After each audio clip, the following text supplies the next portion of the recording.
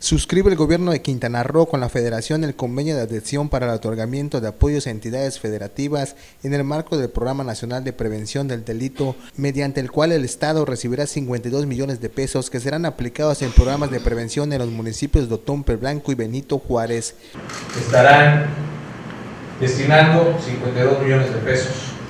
en este programa de prevención del delito a estos dos municipios y en lo cual agradecemos estos recursos que el gobierno federal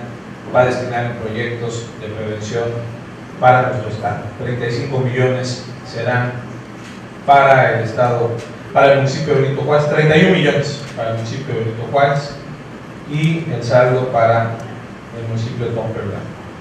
en el evento que estuvo precedido por el gobernador del estado Roberto Borja Angulo, también se firmó el acta constitutiva de instalación de la Comisión Interinstitucional Estatal para la Prevención Social de la Violencia y la Delincuencia, cuya misión será analizar, junto con las dependencias estatales y municipales, zonas o poligonales para prevenir la incidencia delictiva en Otompe Blanco y Benito Juárez. Nosotros en Quintana Roo tenemos seguridad